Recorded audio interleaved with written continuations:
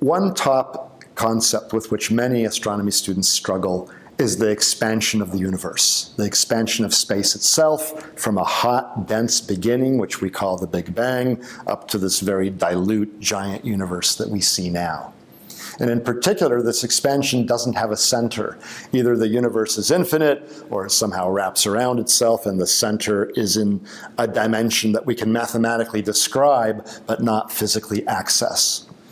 We take great pains to explain this tough abstract concept clearly in the cosmos. We give a number of analogies, such as a rubber hose with ping pong balls on it, or a balloon, or an expanding loaf of raisin bread. We really try to get to the parts that students don't understand, and that's through our decades of teaching this course. We have much experience teaching this course, and so we've seen the kinds of struggles that students have had. A second concept of great difficulty for many students is the notion of warped space and time. The idea in Einstein's general theory of relativity that the presence of mass, of material stuff or energy, actually changes the shape of space itself and the passage of time.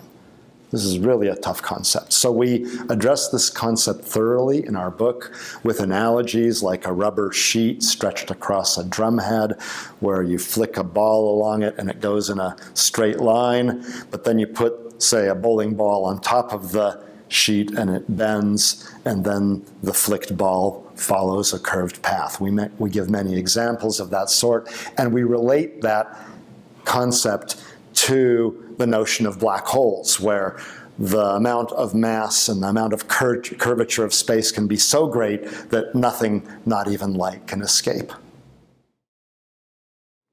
Many students have trouble with the concept of stellar evolution, the fact that stars actually have lives that they live, they're born, they live, they die, and the kinds of physical processes that are going on in the different stages of stellar evolution. Because, you know, over a human lifetime, you just look at the sun and it doesn't look like it's changing at all. But over millions or even billions of years, stars do change.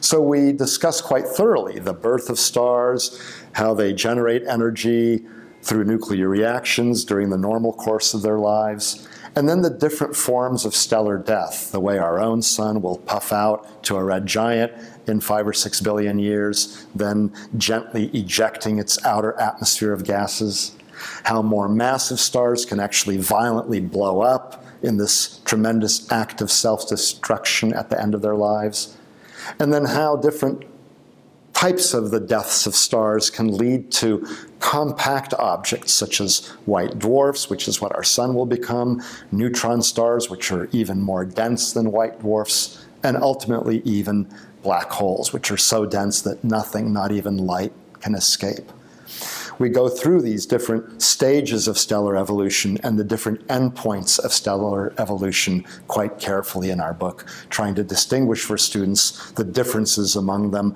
but also the broad similarities that tie the topics together.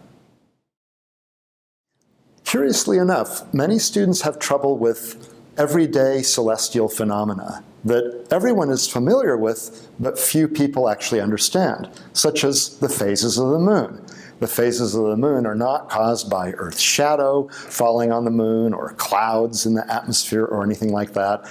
They're caused by changes in the relative geometry between the sun, Earth, and moon.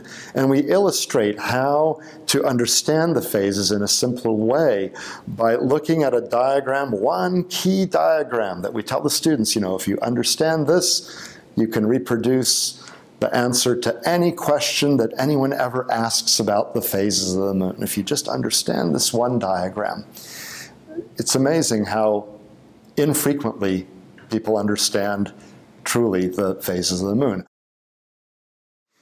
The tides on Earth's surface are a concept that many people don't understand and that students in particular might have misconceptions about. They may have heard that the moon pulls the water on the near side of Earth toward the moon. But in fact, there's a bulge on the diametrically opposite side of Earth as well. putting it another way, there are two high tides per day and two low tides per day. And that's something that if you live in a coastal region, you might experience on a daily basis, but not fully understand.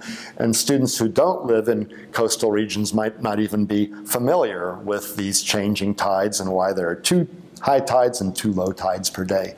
So we discuss the tides in some detail.